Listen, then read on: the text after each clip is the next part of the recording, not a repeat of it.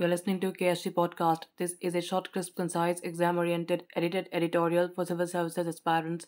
In this podcast, we are going to talk about anabolic steroids and their impact on health. Source for the content is Anonna Dutt's article for the Indian Express.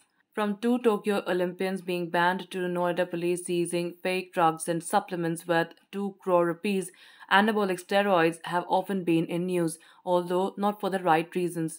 More than being a drug prescribed by doctors, anabolic steroids are usually used by bodybuilders.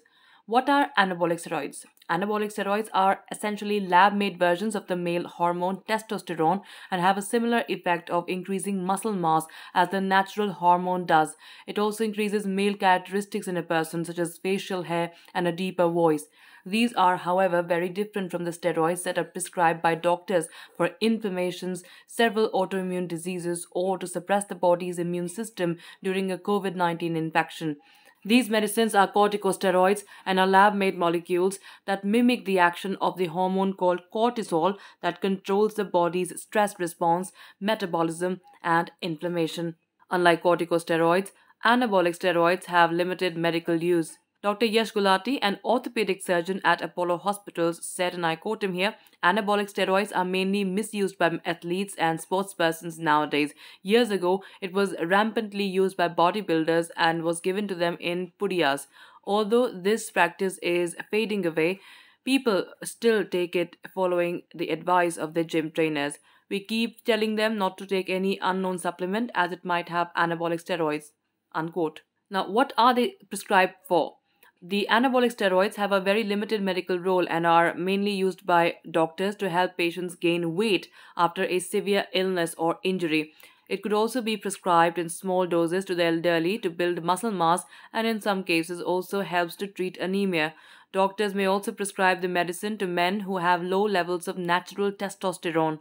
Dr. Gulati said that some doctors use it for the treatment of osteoarthritis, but I personally do not. I think it should not be prescribed unless there is a deficiency. This is because a misuse can cause damage to the heart and kidneys and lead to anger issues. Unquote. So, how are anabolic steroids misused? The anabolic steroids are misused mainly by those who want to bulk up as it helps increase one's muscle mass. A 2019 study from Bhubaneswar of anabolic steroid users showed that only one of the 74 participants was a professional bodybuilder, with 18.9% being students, indicating that it is used by people other than professional athletes. Although no concrete estimate exists of the number of people using the drug across India, a 2018 study from Jammu and Kashmir found that 7.1% of athletes used it.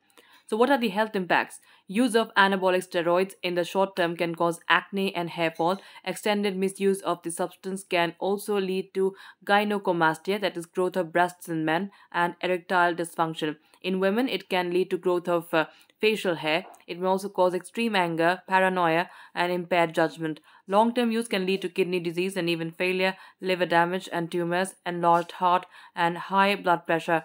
It can also lead to stunted growth in teenagers. That's it for this podcast. Thank you so much for listening. To join KSG India courses and to crack the IAS exam, visit ksgindia.com. You can also get a PDF of this podcast on ksgindia.com.